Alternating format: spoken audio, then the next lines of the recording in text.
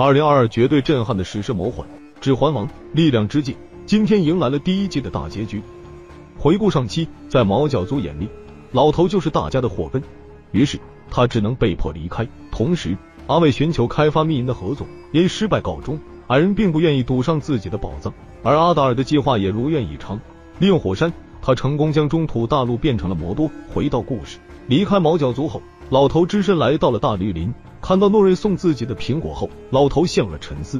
就在这时，他看到了孩子的身影，老头赶忙追了过去，还以为对方是诺瑞，没想到眼前的诺瑞竟然是女巫幻化的。至此，老头的身份在女巫的口中得到了确认，他就是索隆大军。之前的失败让索隆的记忆被封印，女巫找到他就是为了接他回到自己的领地。只有遥远的东方才能看到星座的位置，届时所有人将在卢恩之地知晓他的真实身份。索隆也将恢复所有的法力，大地将陷入黑暗，一切也将臣服于索隆。因为还没有学会掌控自己，所以女巫先将他迷晕了过去。而这一幕全都被诺瑞他们看在了眼里。此时，小矮人们并不知道老头的身份。在引开两名女巫后，诺瑞偷偷溜了过去。殊不知，老头是女巫幻化的。掩护诺瑞逃走的时候，女巫用暗器射中了族长，而诺瑞也被抓住。眼看女巫就要动手，关键时刻，老头突然醒了过来。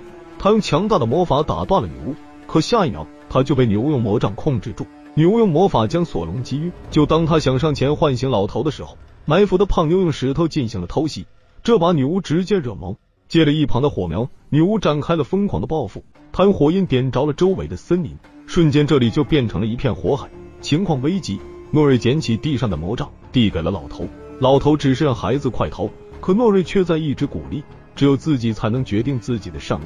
为了保护这些小家伙，老头最后还是拿起了魔杖。在他的法力加持下，大火被老头瞬间熄灭。原来，老头并不是索隆，而是主神维拉派来凡间帮助人类的巫师。他用强有力的圣光，瞬间融化了这几个女巫。危险解除后，大家也迎来了光明。为了解开自己的身份之谜，老头必须前往鲁恩寻找答案。不过，有专业人士分析，穿着灰袍的老头就是甘道夫。见老头如此坚持，诺瑞也动摇了。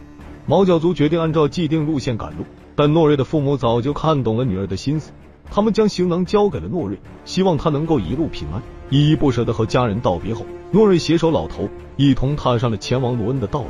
在努门诺尔岛国，病重的老国王已经奄奄一息，为了留下他最后的荣光，阿雅在榻前替他笑笑。老国王在弥留之际，把阿雅当成了自己的女儿，并希望她能与精灵团结，不然岛国就将陷落。拖着腐朽的身体。老国王为阿雅打开了密室，而阿雅也见到了真知水晶。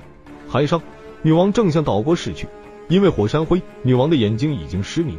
战争带走了船长的儿子，这让女王多少有些愧疚。但船长并不后悔，反而更加坚定了自己的信仰。他将与女王一道共赴黑暗。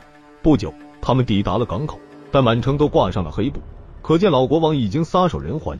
这个消息对于女王来说，无疑是个巨大的打击。另一边。小美带着小帅回到了精灵城，在精灵的全力抢救下，小帅得到了及时的救治。但小美也将中州的战火带到了这里。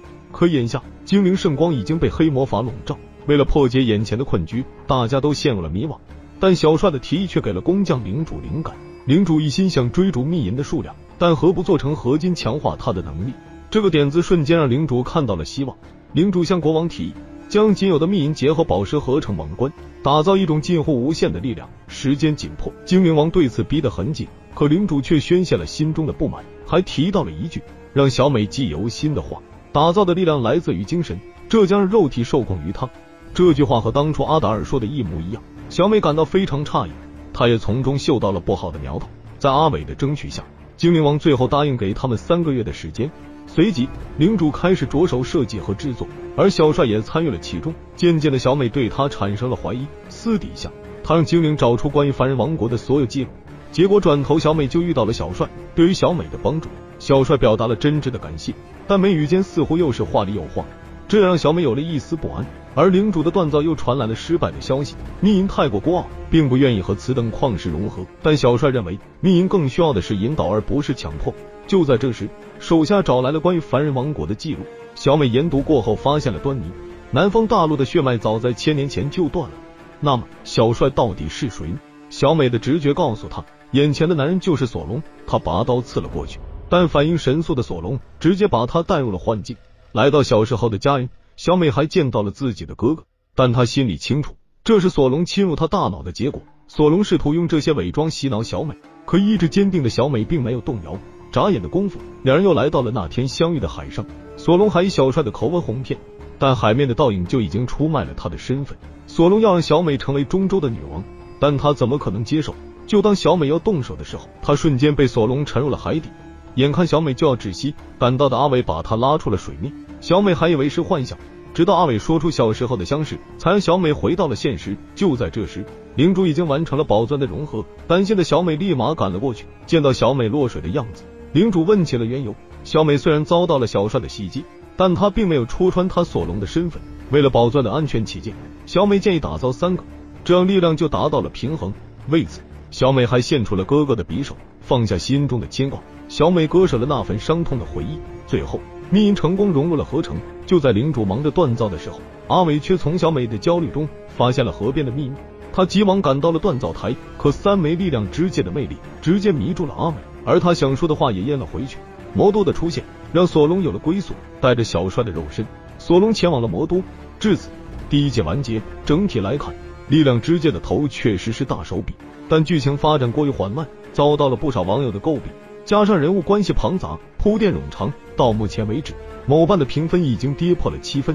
制作虽然精良，但却缺少了更多吸引观众的点。话说，你们对这部魔幻史诗感觉如何呢？欢迎在视频下方留言。感谢大家的观看。